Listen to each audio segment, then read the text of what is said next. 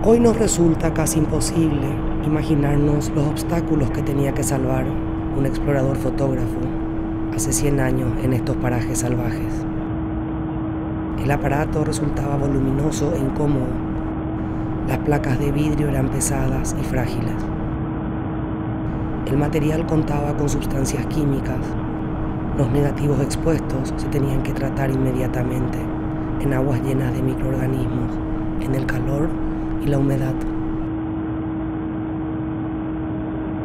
Todo esto perjudicaba no solo la sensible emulsión que cubría las placas, sino incluso la madera del aparato fotográfico.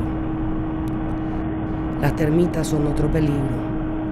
Se comen todo lo que encuentran, incluyendo el mecanismo de fuelle de la cámara. Frick escribió sobre sus experiencias en el Gran Chaco a su colega en Praga. Me pide que fotografíe la belleza y las personas, pero todo no es tan fácil como se cree, como estamos acostumbrados en nuestro país.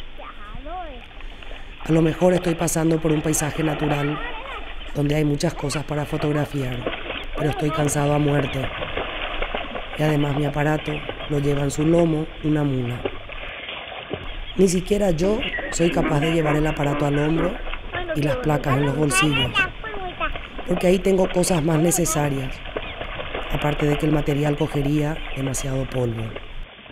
No tiene idea de lo que pesa una cámara como esta cuando se la lleva durante horas en la espalda, montado a caballo. Golpea la espalda, las placas molestan cada vez que uno baja y sube a caballo, operación que se repite con mucha frecuencia en terreno accidentado. Y si uno se queda a caballo y este brinca por encima de los obstáculos, ay, el pesado aparato da golpes en la espalda, las placas se meten en las costillas, los muslos, las caderas. Entonces todos, incluso yo, prefieren colocarlo al lomo de la mula. Pero luego, cuando se quiere fotografiar, hay que bajar todo de la mula, rebuscar y preparar lo necesario. Se necesita casi media hora para eso.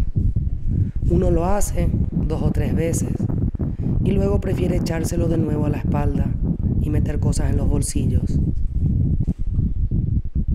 De nuevo se siente uno deshecho, se enfada y piensa que hará la fotografía al regreso. Y cuando uno vuelve, llueve a cántaros. La mula resbala y se cae. Uno se cubre con el abrigo y maldice. Al final, la mula rompe el aparato y adiós esfuerzo.